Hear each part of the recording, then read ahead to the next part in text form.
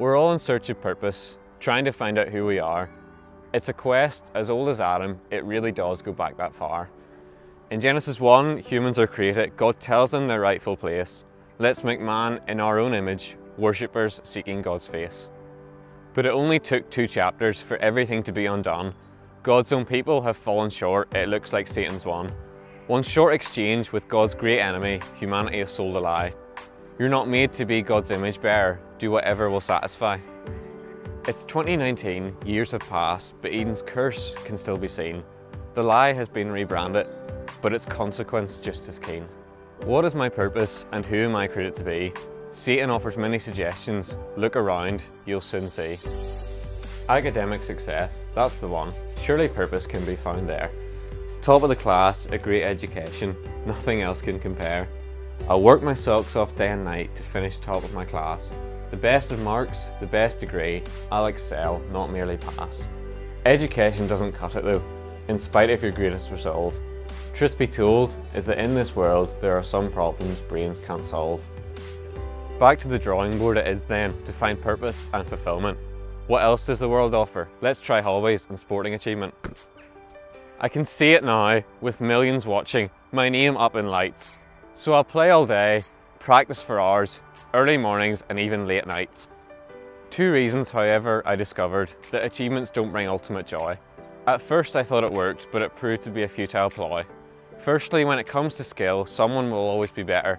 No matter how hard I work, there's always a new bar setter. Secondly though, even if you make it to the top, the very best will all admit, it's not as good as they thought or anything like what they dreamed the promised God was a counterfeit. The last pursuit this world can offer, in our pursuit of meaning, is perhaps the most frequent of all and perhaps the most demeaning. The pursuit of purpose in this world is apparently hard to find, so let's immerse ourselves in a fake world, leave the real one behind. We can scroll and like and post and snap until our heart's content, but deep down we know this virtual world isn't really time well spent. But the buzz of the likes, the hit of views, and the friends in my fake reality quite often feed the darkness of my own heart, its sugar-coated vanity. Who are my friends? Who truly follows me? It's really not easy to tell. I can create a facade that everything's great, but deep down I know all's not well. What is my purpose and who am I created to be? According to the world, it's a self-absorbed existence, centering everything around me. The echo of Eden rings true throughout every generation. Whatever purpose I try and find in life, ends up in devastation. However, though the world will say that in this life your identity is achieved, Scripture says the opposite is true. Through Christ it is received. But what is this identity that God has assigned to you? The Apostle Peter tells us in 1 Peter chapter 2. You're a chosen people, a royal priesthood, a people belonging to God. This is who you are, Christian. Anything else is merely a fraud.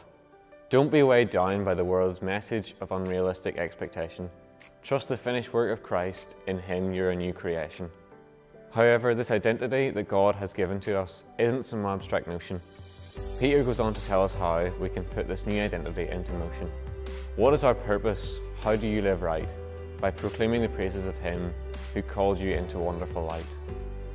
In summer 2019, you have the opportunity to obey this command, to pursue your purpose of proclaiming God's praise to people in our land. We pray expectantly that God will work as we speak His gospel truth. Will you be part of Summer 2019 by serving with Baptist Youth?